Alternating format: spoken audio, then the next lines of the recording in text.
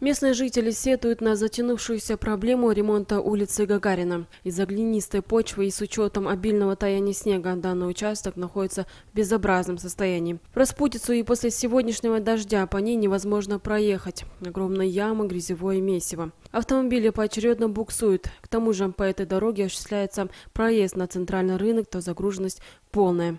Вот наша улица Гагарина, вот с постройкой вот этих новых домов структура поменялась, перекопали, делают канализацию, которые люди делали тротуары, сточные ямы, вот, арыки делали, все это землей он закинуто, бросили и никого нету. Три года делают, четыре квартала, это ужас же.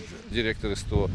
Тоже, как вот это вот начали копать уже два года, мы вообще без работы сидим. То люди как-то ездили к нам, ну как-то нет, сломаются, подъедут. Сейчас все, дорога перекрыта, еще неизвестно, когда она теперь восстановится. Вчера, э, ну вот представители тоже с Меридиана, э, мужчина там работает один, он говорит, что 7 машин он насчитал за целый день, 7 штук сидели в грязи, вытаскивали, вы- уезжали, опять забуксовали.